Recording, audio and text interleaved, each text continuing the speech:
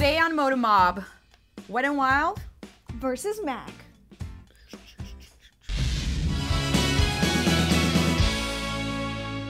Hey everyone, I'm Nora. And I'm Ani.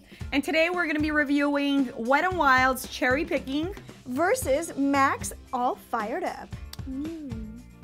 Wet and Wild, why I love it is because it's really, really, really good lipstick and Really, really, really cheap. 149 like a dollar 49 you could buy every lipstick in their collection and it'll equal to one mac lipstick That's so it's literally cheaper than gum. yeah so i have to say i'm already biased towards this color Honestly, it depends. MAC has some really good shades that They are do. very, very hard to find.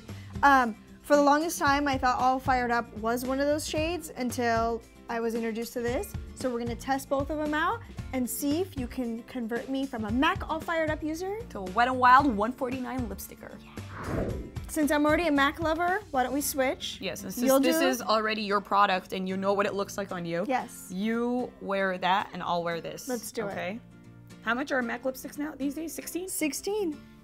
that's how many of those 97.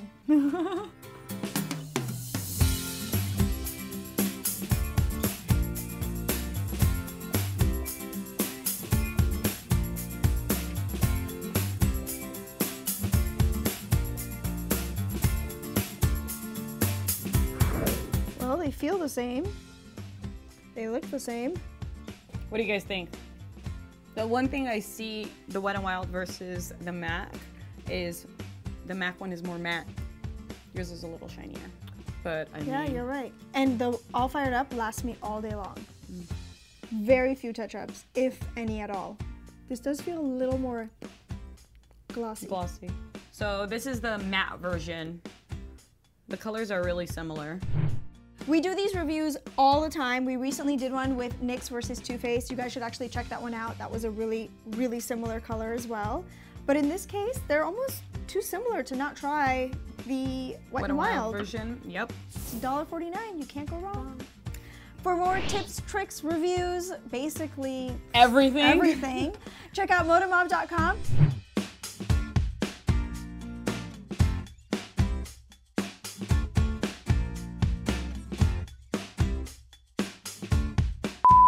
Okay. So are we what are we doing? These little thingies take for us. I'll put a Wet n Wild. Or you put Wet n Wild since Are you a bottom or a top? an appropriate joke. Well, I'm a pervert. Hmm. Hmm? Oh my god.